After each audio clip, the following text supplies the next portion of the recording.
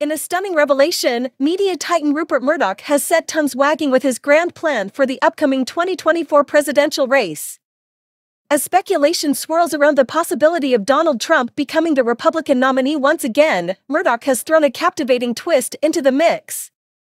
According to insider sources, Murdoch has privately expressed his support for Governor Glenn Youngkin of Virginia to enter the race, igniting a flurry of excitement and intrigue among political insiders.